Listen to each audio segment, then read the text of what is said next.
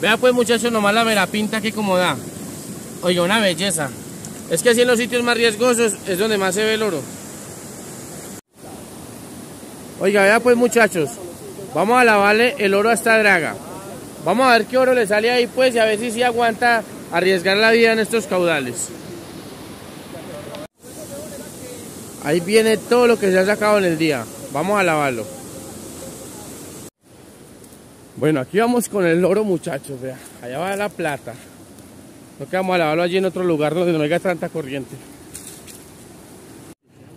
Vea pues muchachos, ya aquí el último proceso es barequear.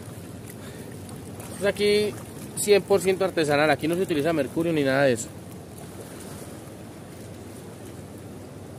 Hay que lavar todo ese baldado.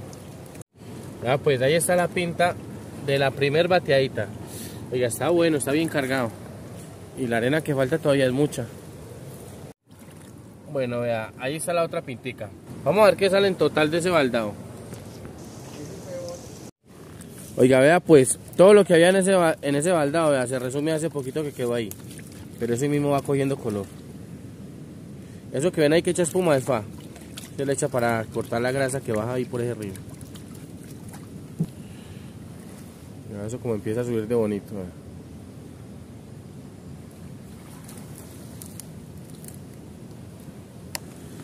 Oiga, vea pues el total. ¿Por ahí cuánto hay ahí en oro? Más o menos unos unos 5 castellanitos, en gramos por ahí unos 50 gramos más o menos. Y en plata por ahí muy cerca de 4 o 5 millones de pesos. En plata por ahí 4 o 5 millones de pesos. Vea pues muchachos, en un día de trabajo, o sea, no crea que es fácil, se arriesga la vida también.